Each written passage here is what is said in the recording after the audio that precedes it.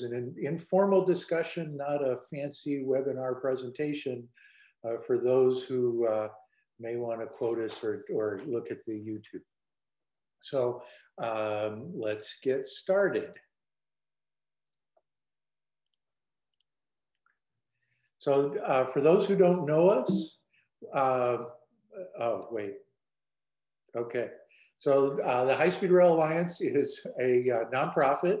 Uh, we're focused on education.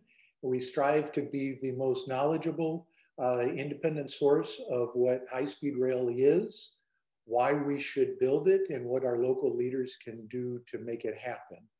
Um, we're very excited about California uh, because it is the only high speed line under construction today. And so I'm going to cover an awful lot. Um, and uh, so want to bring it up right a quick. This is the core of the thing. In the next six weeks, the legislature in California will make a critical vote on what to do as the next step on their high-speed rail network. Um, uh, the authority has an excellent plan for moving forward.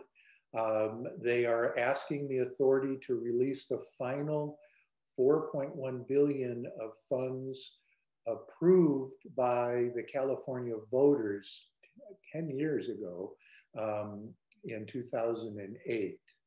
Um, this is a critical vote for the country.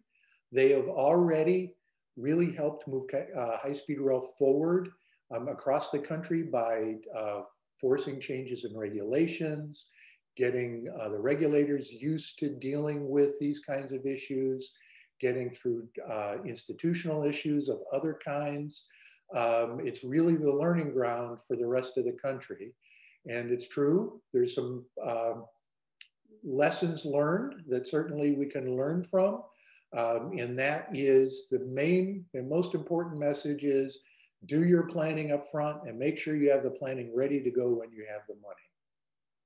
Um, so we really need to get our friends in California. If you have friends in California, get them to contact their legislators, and I'll tell you about how you can do that later. Uh, so back to us. Um, we use research to be the most knowledgeable folks, independent. There's a lot of people in this country that know how to build high-speed rail, but they're not talking because they do it for hire. Uh, we can help um, our leaders understand what they can do. We educate folks through, I've been doing a Rotary Club presentation once or twice a day for about, um, for uh, since the beginning of the year. Um, and then we provide you and others the tools you need in order to educate your leaders in state capitals and in Washington. Um, we do this because it will lead to stronger communities. Uh, you know, the more people travel, we're really spread out as a country with our universities in small towns, especially where I live in the Midwest, big cities, just a few major airports. Um, our families are spread out, our customers and vendors are spread out. The more we can travel, the more productive we can be, and the stronger our relationships will be. Um, and in the process, we'll reduce, even though we're increasing traffic travel, we will dramatically reduce carbon emissions and by generate by being a catalyst for more walkable communities will reduce the burden of infrastructure maintenance that local communities are really struggling with right now. Um, our big picture goal um, is a federal program and a big one. And we're really excited that Congressman Moulton from Boston is um, being such a strong champion for this big program. Um, I was really impressed with his uh, work yesterday on the House T&I committee. It's a long committee meeting, but um, really a fantastic outline of what the issues are. And Congressman Moulton really drove the conversation towards high-speed rail. Uh, so that's exciting. We need to be very optimistic. We need to plan for success. Um, and that's a combination of long-term big picture projects and getting things done right now. Um, and then because uh, we do believe in an integrated network where most of the route miles are on tracks shared with freight trains and the high speed lines boost to the volume and really bring the tipping point to the whole network. But getting the private railroads engaged as true partners that are making money at it, the same way highway contractors make a lot of money building highways and defense contractors make a lot of money building weapons. So we are at a unique time where we can really make a difference. And I just want to point out, we've got the president around stumping for high-speed rail. Uh, this is fantastic. And again, we really need to, to get people, anybody who wants a train, a better train, a new train, anywhere in the country, we need to get them engaged and telling their congressmen it's time to have a national program. So we don't see this as, um, and I wanted to focus a little bit more than usual on creating a new language about how we talk about this, because um, in order to understand what's happening in California, you really have to think about um, high-speed rail very differently than it's been promoted. So typically, high-speed rail has been promoted as big city to big city, 100 to 300 miles apart. Certainly, a high-speed train going 300 miles um, is far superior to flying and um, will shun that market. But there is a much, much, much, much, much, much, much bigger market for passenger trains than just downtown to downtown between city and city. And high speed rail is the key tipping point that makes the whole system work. Uh, so we see this as a series of building blocks. The faster you go, the, uh, you need to take different steps. So for practical purposes, and we'll see there's two cases where hopefully we'll have trains going 110 miles an hour on heavy haul freight track, but right now it's pretty much agreed that 90 miles an hour is the practical limit for that. Um, to go faster than 110, you need to separate the roads. To go faster than 125, you need to electrify. Both of those things are a good idea no matter what. Um, if you want to go faster than 90 or 110, you probably need to build a new right of way, especially here in the Midwest, where uh, we're going through towns um, every five miles. Uh, really need to get a new right of way to really get the frequency and the speed that you need to get over the tipping point. Um, uh, and Ned is saying the Wolverine line already goes 110, uh, but not uh, not shared with heavy freight trains was the point there. Um, so the um, uh, to take this and kind of simplify the discussion, we've created three categories of infrastructure. Uh, shared use lines, which are primarily owned by private companies um, with a focus on freight. Um, but we have shared use lines around the country that work very well. Uh, Metra here in Chicago um, has pre-COVID 90 to 100 uh, passenger trains a day on some of the busiest freight lines in the country. And it works very well because they've invested in the infrastructure to make it work well. Uh, Brightline in Florida is another excellent example. Uh, so that's shared use. Regional is where the probably a government entity owns the tracks and it's focused on passenger and it may have some freight. Uh, so um, the Chicago to Detroit, the segment between Porter and Dearborn um, is being upgraded to regional. Um, and that's the Wolverine going at 110.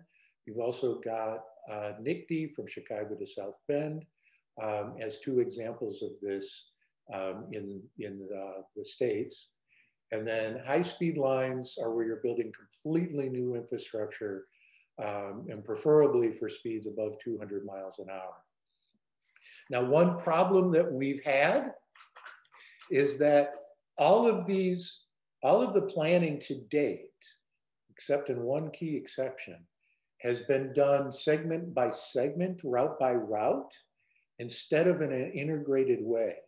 So you can't, because of that, say on Rockford to Chicago, uh, if you just look at Rockford to Chicago with a couple of steps in between, then you have one level of traffic. But if you can look at Rockford to Chicago and then the connections to Detroit and Indianapolis and Kankakee, et cetera, suddenly there's a, not, a lot more opportunity to take the Rockford to Chicago train.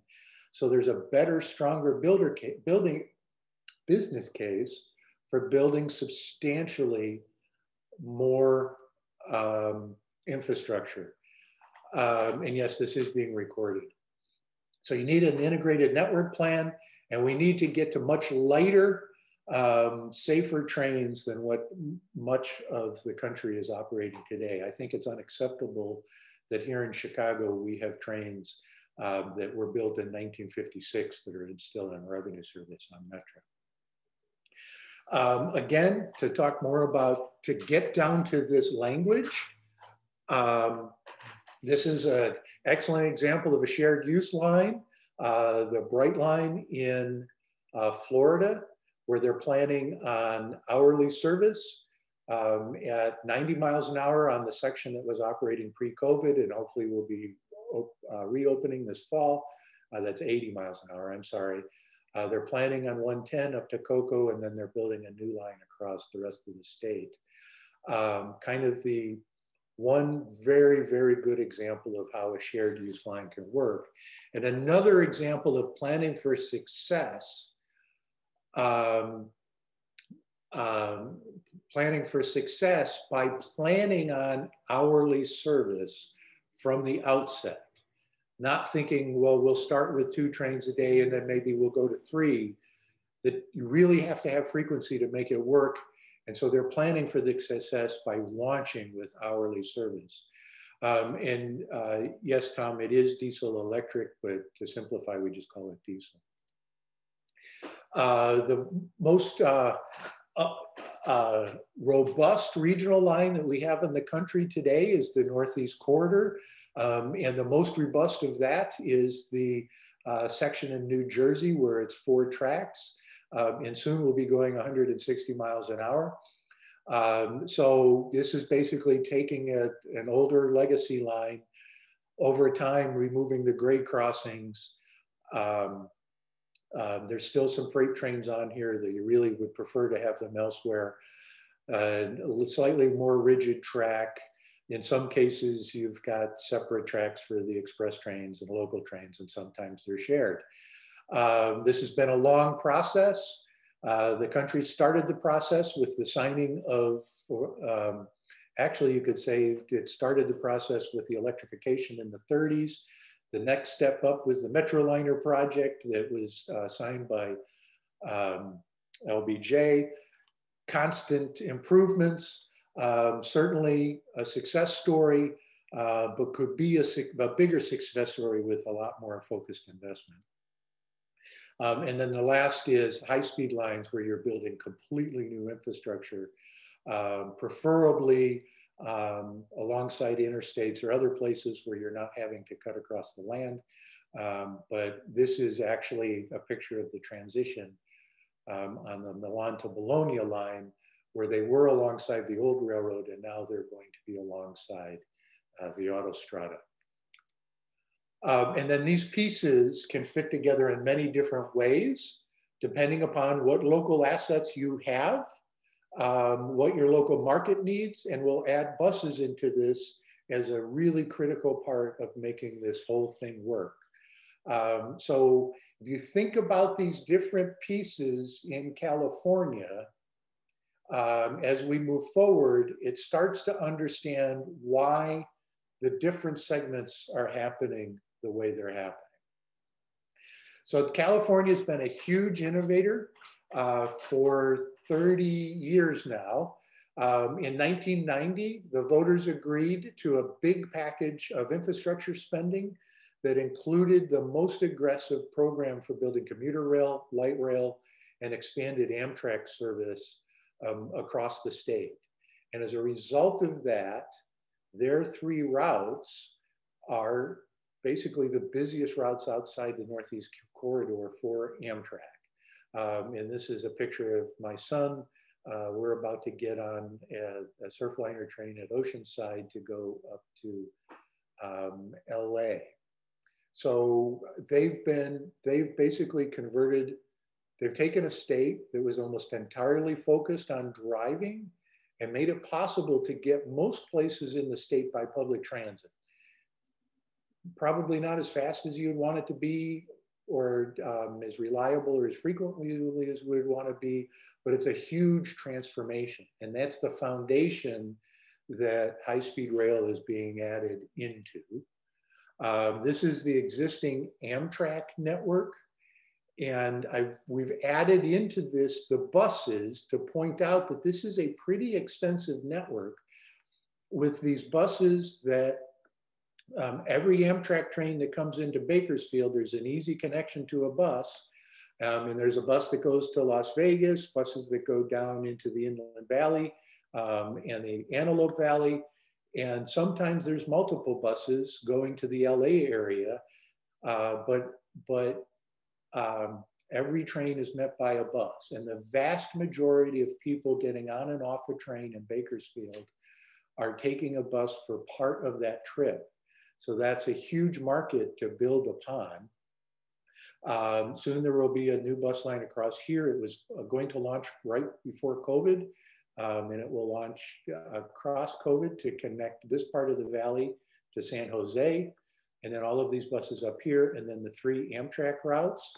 What's missing from this diagram is the ACE commuter rail service that follows along this route. Um, it's only peak hour into San Jose right now, but they're working to improve that.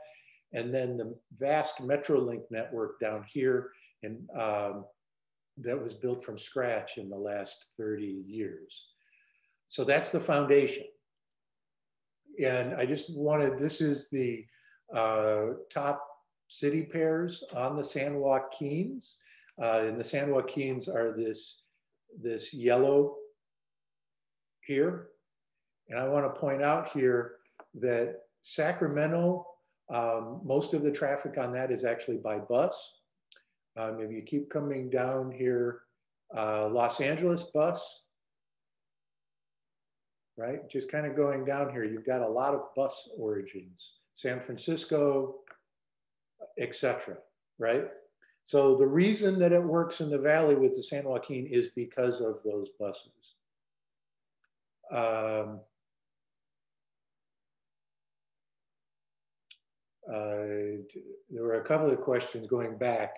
Uh, so 160 mile an hour operations in New Jersey should start operating in the next year or so. Um, right now, 110 is just Porter to Kalamazoo, but uh, Dearborn's in the works. Um, and this is, uh, the ridership here is um, 2018. Um, and we'll talk about how high-speed rail really boosts this up in a minute. Uh, so the next big innovation was the voters approved to build high-speed rail in 2008. And this looks like CGI, but it's not. This is the actual finished bridge over the, um, uh, shoot, I forgot what river this is, I apologize. Um, it's just outside of Fresno. San Joaquin River, yes, thank you very much. Uh, so uh, the voters approved to get this project started and uh, uh, that is exciting and it's well underway. And the key decision is, do they continue to move forward with this aggressively or not? And that's the, the, the decision that the legislature will make this spring. Um, and then the most kind of exciting to me innovation in California is this integrated plan. And this is a diagram of the train operations that they are planning on for 2040. So the red is high speed trains, not necessarily high speed lines. Uh, and the green and blue are um, um, regional trains, um, uh, different sorts of trains at different frequencies. But the key point here is it's a, it's a statewide plan. It's not a segment by segment plan. And those square boxes are places where the trains and buses will be timed to meet on the same schedule every hour. So maybe a train runs every two hours, but it will be there at 15 minutes after the hour. Maybe a train runs every 30 minutes. So at that station, it would be there at 15 and 45. Um, and, and the stations would be designed to make easy transfers very doable. Um, and they're planning on one ticket will take you anywhere in the state. This is huge. And because they've done this 2040 plan, they can now work backwards and say we should prioritize, prioritize this piece or this piece. Oh, this piece needs to be a lot more robust than we were thinking. This piece, we don't have to make it so robust, right? But because they have a big picture plan, they can think that true. Um, So uh, this is huge. And then this demonstrates how huge this is. So um, these are the listings of counties from north to south. And then these hoops are the ridership between counties. And this includes um, the commuter rail systems like Caltrain and Metrolink, and includes the Amtrak connecting buses. And I want to point out, here in the Midwest, we would consider Fresno a pretty decent sized Amtrak stop. And you'll notice it doesn't really show up here because it wouldn't scale properly to this. If they continued with all the projects when they were doing this plan, all of the projects that were in process, they continued them independently as they were planned, you have a big ridership increase. It's a huge impact. And now you're adding ridership to rural counties um, that wouldn't have had, dramatic impact otherwise. But if you do it in this coordinated way and spend a little bit more money um, uh, moving it forward or to, to do the connections, um, you have a tenfold increase over what's happening today. This is what every state should be doing in the country. We should have this on a regional level and then on a national level at different scales of detail each step along the way. Um, this is really, and California is the first in the country to do this, uh, following Switzerland, Germany, and, and the Netherlands um, to actually put this going, uh, pushing this forward. Uh, so this is a draft map that we're working on to more simplify the discussion. Um, and I want to point out a draft because there are a couple of errors in here, uh, but we've been rushing uh, to really simplify our communications for uh, next Friday. There's a big date, a big event happening next Friday uh, that I'll talk to you at the, about at the end of this. Uh, but this is the high speed, the network of high speed lines and regional lines proposed for California and the status of each. So orange is under construction now. Um, the green is fully environmentally cleared, cleared with the Surface Transportation Board, um, ready to go to construction. Um, and um, the purple is very close to finishing the uh, environmental clearance and the other federal clearances and state clearances you need to go to construction. That's in purple. Uh, that'll all be done in the next year or two, each piece of it coming on at a different time, but it should be done by the end of 2022. So a lot of progress here. One of the errors I want to point out real quick is that Shafter, this little town here, uh, to Bakersfield is actually environmentally cleared. Um, um, but that's one of the more egregious errors on this map. And then these dark, these thicker lines are the existing shared use lines and the buses are um, uh, the connecting bus lines or the thinner lines. So it really is uh, a statewide network. So here's what the authority's plan is as approved by the board um, uh, last, within the last month. So you've got Caltrain under construction now. That's very exciting. We'll talk a little bit more about that in a minute. Um, you've got Madera to Shafter under construction. There's a long history of why that is. There's good reasons why that is for just that small segment. Um, it wasn't, in, that was intended to be the first, like, let's get things started and keep moving. And a very organized uh, base of opposition has done all they can to slow the um, um, process down. Um, and so uh, it's exciting that it's under construction. And then they've got these green segments under are fully ready to go. And so the authority has agreed that they are want to move forward fast with getting Merced to Bakersfield done. Um, and uh, that's what they're asking the authority to uh, release money for. The other things they want to do is get very aggressive on preparing for pre-construction for these segments over the mountains. And I want to point out one important thing here. These white areas are where the land is flat.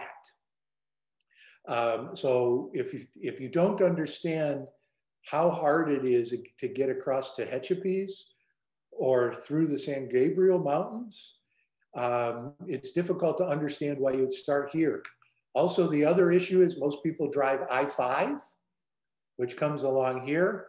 These are fairly big cities along uh, California 99, uh, but most people making that drive don't see those cities. Um, and so they think this is in the middle of nowhere, but these really are big places. And there's a lot of traffic happening already today on the San Joaquins from this part of the valley to LA with that bus connection. And then you've got Bakersfield coming up here. Um, so this piece in the middle really makes a huge difference. Now, this goes from pre-COVID seven trains a day.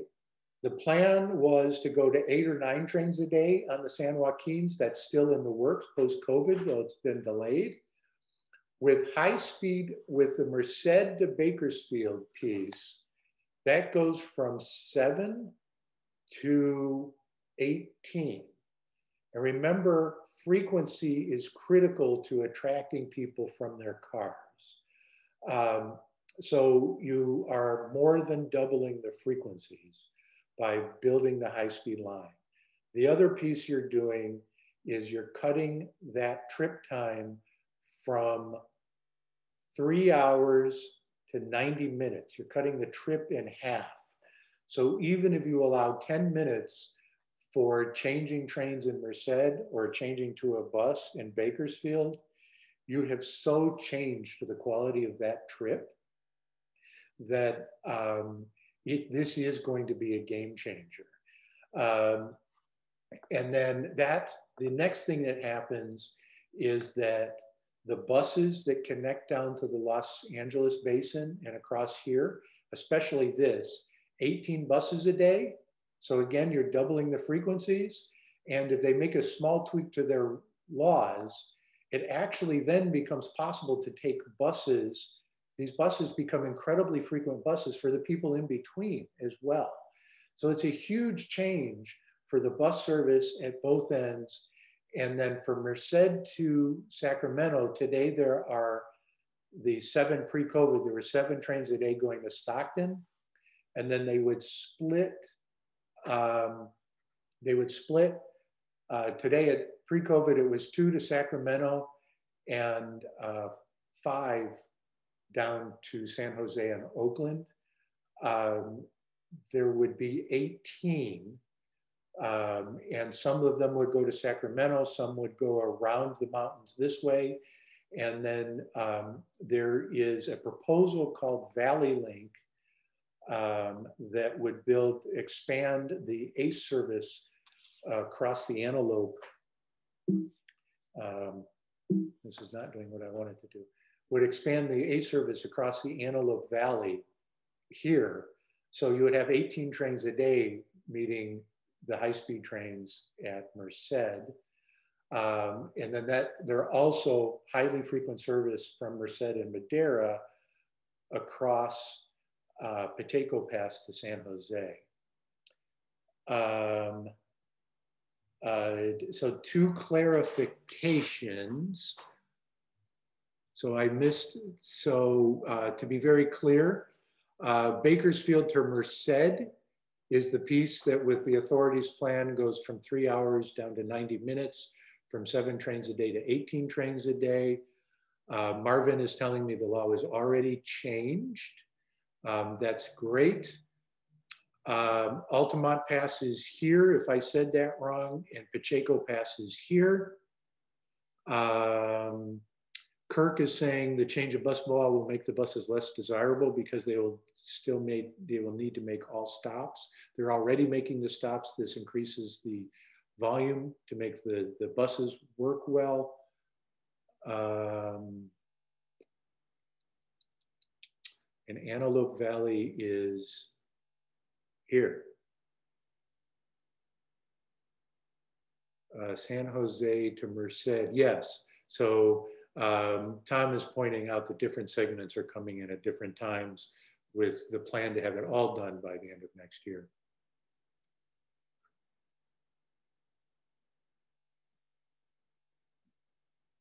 So I've, I've got slightly different. The point is they're talking about building new infrastructure that will be shared between ACE commuter trains and new regional trains uh, they're building the new infrastructure here and ACE will be able to use it to speed to trip and add frequencies to San Jose.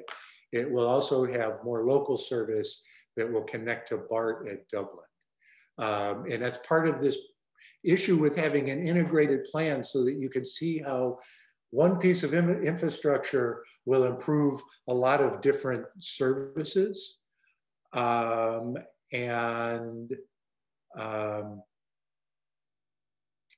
uh, and just to be clear, uh, uh, apparently I'm using the wrong terms. So I want to be clear again, this is the Antelope Valley and this is the Altamont Pass. Uh, so thanks for folks pointing that out.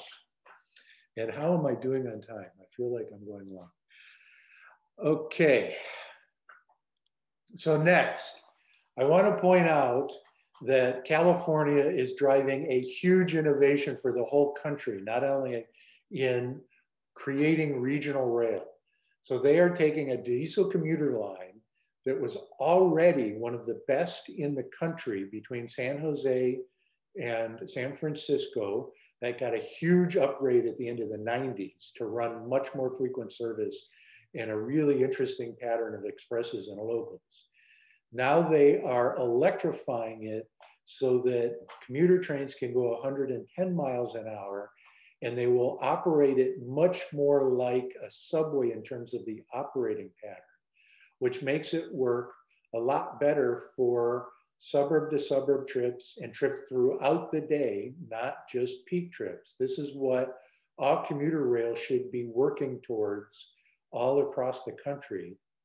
And they are driving this innovation in the Silicon Valley. And this is the other piece of this is they're the first for a mainline railroad to use the safer and less expensive to operate um, alternate safety standards, not the heavy um, um, old safety standards. So this really is a huge, huge innovation and exciting project that will drive a lot of innovations around the country. That's underway. Um, um, and Marvin's comment is about uh, they don't have the funding to switch to full level boarding um, yet, and that's part of the challenge. Um, um, and this project would not have happened without high-speed rail.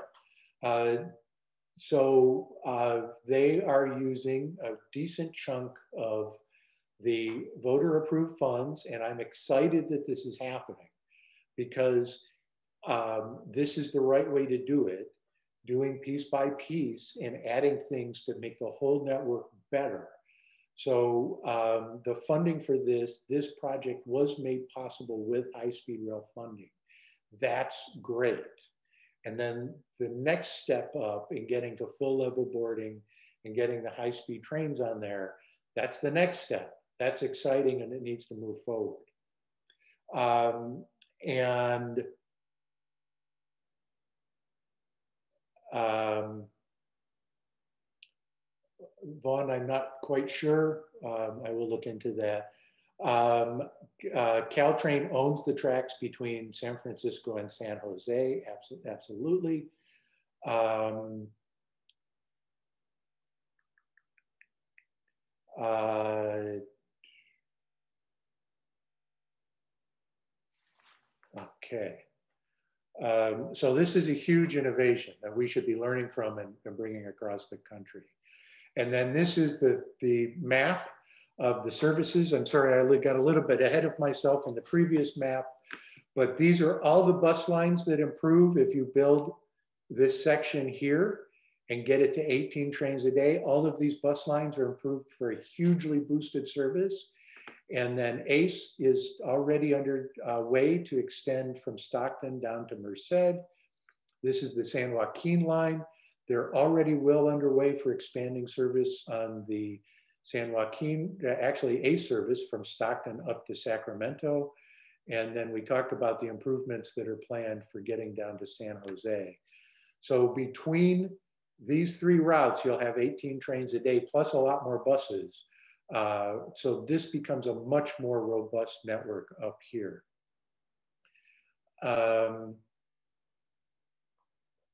and uh, Vaughn is pointing out the issues with uh, Caltrain funding, um, and that's an issue that we have to continue to fight. And Peter, yes, you're right. Uh, this is an old map that we grabbed from another presentation. Um, it's Brightline uh, over here for Virgin. And I want to point out that this is really also an exciting development. So uh, Brightline is ready to go to construction. They're doing the pre-construction work right now. Um, and that was financed by, essentially, this is not technically true, but that was financed by a, a casino owner because he recognized that his business required high-speed trains to California. And he knows where all of his customers come from, right? And so where do his customers come from? They come from the valley and from the Inland Empire for the most part, right? And all those people have to drive by Victorville um, in order to get there. Um, and that's the first good segment. And they are already planning, they're doing the design work for coming down uh, Cajon Pass to uh, hook up with Metrolink, which could be upgraded to Caltrain standards. I want to be clear that's not planned, but it should be. Um, and then the environmental is, is wrapping up to get you to Palmdale. But based on what's underway, by the end of the decade, California could have this network. Um, and remember, there's a lot of bus traffic from Bakersfield to Las Vegas. That travel time gets dramatically reduced by making these connections. So the conservative estimate um, Richard Martin is asking who's the bus service operator. Amtrak uh, contracts with a variety of, of uh, bus companies, um, and the buses are standard over the road buses. Um,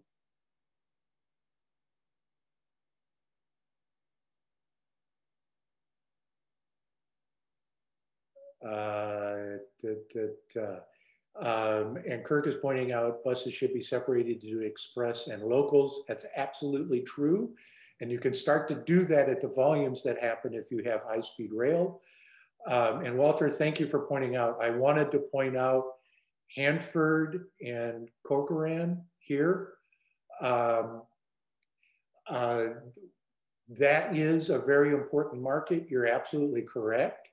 And the San Joaquin Joint Powers Authority right now is doing the plans uh, to make sure that they get at least the frequency that they get now and perhaps different based on serving their market properly. It may be bus or train or some combination or above of the both.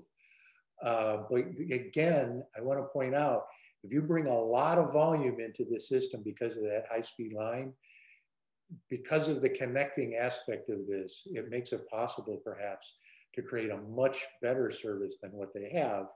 Again, it might be much more frequent bus service, but um, I think this is a huge improvement for both of those communities.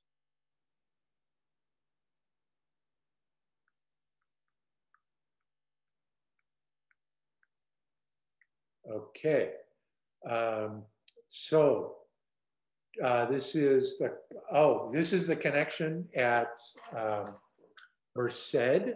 So the existing Amtrak station is basically about here by this B in the BNSF. Um, they're under design right now for building a connection from BNSF um, over to a new station. The high-speed line will be built above the Union Pacific tracks and a new station we build will be built here. The design is not uh, complete. This is basically a concept of what needs to happen, uh, but, but this is how that connection happens to uh, the ACE commuter trains will continue up on the Union Pacific, and then the San Joaquin Amtrak trains will go up on BNSF. Um, and this, this is a concept to illustrate the fact that it will be a cross-platform transfer. Um, I'm disappointed that they've rendered it with people standing around because this is going to be a quick walk across from one train to the others and the buses will have an easy connection below. I find it interesting that they are suggesting here that it will be Santa Fe high levels. Certainly there will be much more, more modern equipment there um, um, uh, as opposed to Santa Fe high levels. Uh, but this is just to point out the easy connection. I do this frequently um, at Belmont between the brown line and the red line. Um, there have been a couple of places over time as they phased the Japanese high-speed line um, into operation. There's been a couple of places where they've done this in Japan. Um, so this really is um, a very viable um, uh, um, and there's lots of places in Germany where you do this as well. So this has been, uh, was done by Deutsches Bahn, uh, the analysis, and it was confirmed by an independent review board um, that uh, this will conservatively double ridership on that entire network. Um, it will more than double revenue because uh, with the frequency and speed, people will be willing to pay a little bit more. Um, and that means the cost of running that network that already exists goes down. And um, they can um, then use that money to, to improve other services elsewhere or, or take it to, to, uh, to um, further work on the high speed line. So again, this part of doing it step by step, if you've got a big enough step in the beginning, you really can set the stage for big, exciting stuff later. And if they do this, this makes it, let's go back here to this map here. The hardest part of doing this is the Tehachapis and going down the San Gabriel Mountains. If you've got a, a high-speed line coming into essentially, um, actually all the way to Palmdale, and then you've got Metrolink that already takes a small trip up, but it's there, right? Plus the buses. You now have a, and you've got the high speed line here with all the stuff that's happening there. You now have a much stronger political and business case for doing these two really hard pieces. And you could not make the legislature take that leap without having high speed trains in operation on these two segments. So uh, that's really why it's critical that the legislature make this the first step in building high-speed rail across the country. Um, and uh, uh, Richard is bringing up the issue of construction costs. Um, and there's lots of discussions about why construction costs are higher here versus other places that other forms have taken on. I, that's an issue. I don't have the answer to it. Um, again, I think if there had been a much more robust planning effort in the beginning, early on, um, I think that it could have come in um, differently, um, but that's water under, under the bridge. So again, the core lesson is do the planning up front and early, which is why I am sad that uh, Midwestern states, my home region, hasn't done any high-speed rail planning to date. It's very disappointing. Um, so here's what happens. We're getting towards the end. Um, um, uh, oh, and acquiring land. Mark, uh, Mark is asking, is the authority starting to acquire land uh, for getting over those two passes? And they cannot do that until they have full environmental clearance. Um, and then they're going to need funding to do that. So that's another reason why we need the legislature to approve releasing the entire 4.1 now so that they can work aggressively towards um, doing that, that pre-construction work and land acquisition. Um, okay, um, so what's next? Um, we need the legislature to um, release the remaining $4 billion in order to fund the plan that the authority put together a couple of weeks ago. That's the core issue. Um, we are helping our members in California um, educate their leaders on why that is important right now. Um, uh, the next step is next Friday. The governor will release his budget revise um, which is his proposal for what the legislature does for the entire operation of the the uh, uh, California operation, the entire California operations, right? Um, but at that point, we're off to the races, and we've got about a month where the legislature will decide what to do. So it is critical that we get all of our friends in California in the next several weeks getting lots of messages into Sacramento saying it's time to move forward with um, um, high speed high speed rail. That's the critical thing. Um, and we'll have, um, we're uh, wrapping up the final work on, on the public release of that um, in this week. And uh, this, that's really, this is the critical time nationally. Imagine if there's a clear vote in Sacramento for high-speed rail, and now in DC, they're debating what to do with the high-speed rail program nationally. And you've got legislators in California pushing for a national program to keep this program moving. That's why California is so critical to the national network. Um, and that's the basic short of the story. Um, Steve, I don't understand your question.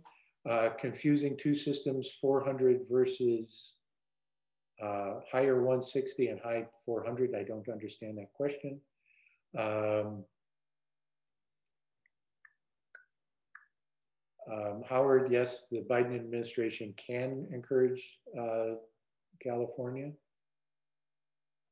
Um, we wish we had uh, a lot more presence in California right now, or I'm sorry, in Texas, um, as they, you know, work forward on their next steps. And there might, uh, Marvin is making the comment, there might be need to convince Nevada to pitch money into Bakersfield to Palmdale.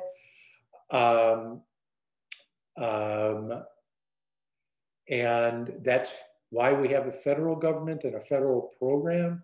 We're not structured to have states work together.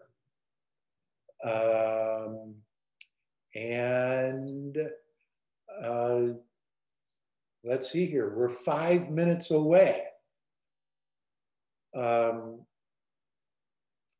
uh, let's go back. I think, Steve, what you're asking is, uh, on this map here, this will be 220 miles an hour here, uh, somewhere in the neighborhood of 200 miles an hour in this, this section, 110 miles an hour, San Jose to San Francisco. Um, and then uh, they're planning for variety of speeds, but a top of 220 across the passes.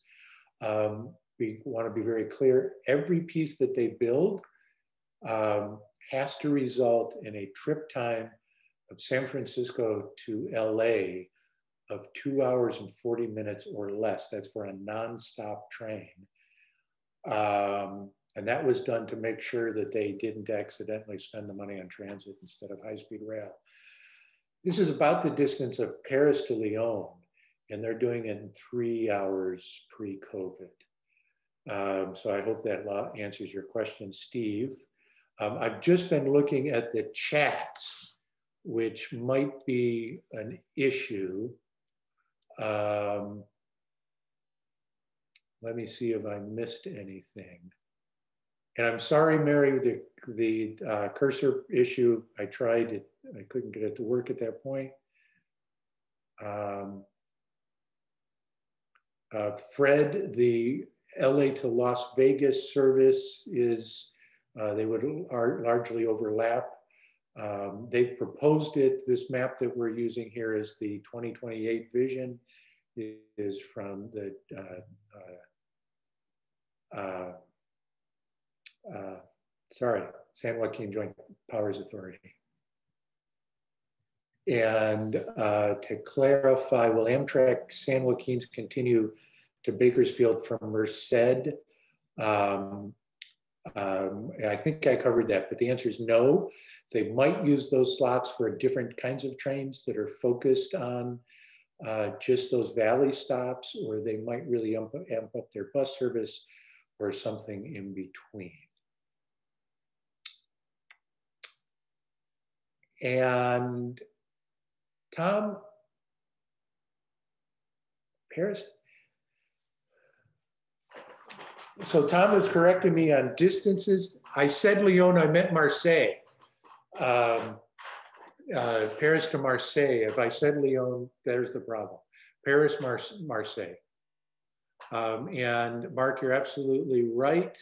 Um, the national network is long overdue and uh, emphasize again Paris, Paris to Marseille.